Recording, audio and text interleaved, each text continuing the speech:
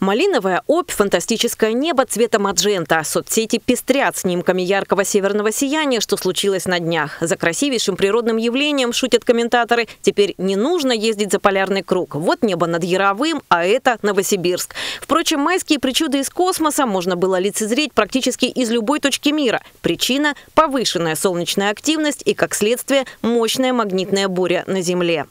Да, тут непосредственная связь имеется. А, когда а, солнечный ветер, эти заряженные частицы взаимодействуют с, а, с воздухом, ну, с верхними слоями атмосферы, мы наблюдаем северное сияние, так называемое.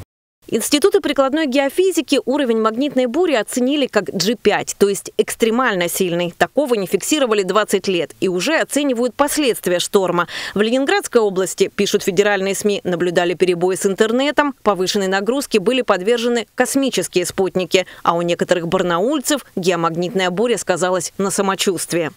Магнитные бури, как-то вы их ощущаете? Ну да, сегодня утром голова болела. Вы это связываете с ними? Ну, думаю, да. Пришла домой, у меня прям носовое кровотечение, давление скакануло. Головные боли. Прям беспокоит? Беспокоит, да. Слышал, что вроде бы в этом году пик какой-то, там вспышка какая-то самая серьезная, но не ощущаю.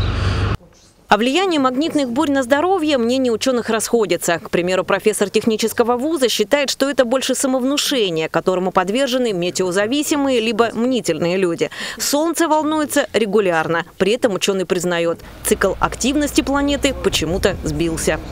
Раньше говорили об 11-летнем цикле, хотя вот последние наблюдения опять-таки говорят, что не совсем соблюдается этот период происходят какие-то нарушения.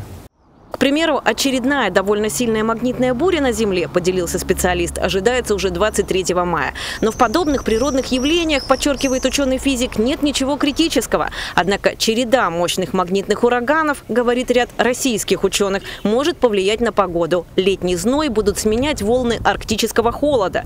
Сбудется ли их прогноз на такое вот странное лето, каждый из нас может проверить уже совсем скоро. Елена Макаренко, Алексей Фризин. День с толком.